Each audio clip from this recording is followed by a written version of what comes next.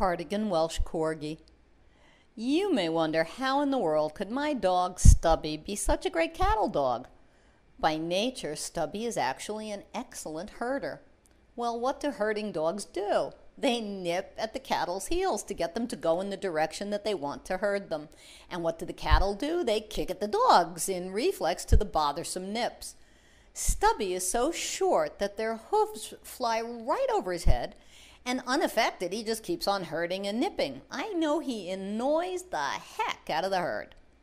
But my Stubby is more than a work dog. He's my buddy.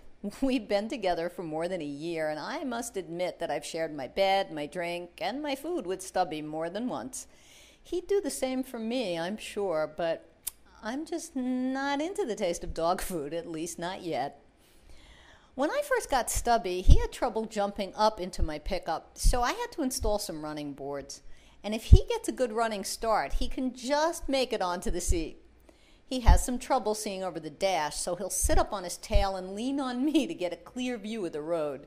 He's got a lot of character, and his intelligence is reflected by his ingenuity. Stubby takes his responsibility serious and will only act clownish by accident and doesn't understand me laughing at him. He'd much rather impress me with a job well done. And every time I give him a task to do, he impresses me with how easy it was for him to learn it and do it well. He only asks for a little recognition and praise now and then, which I am more than happy to give.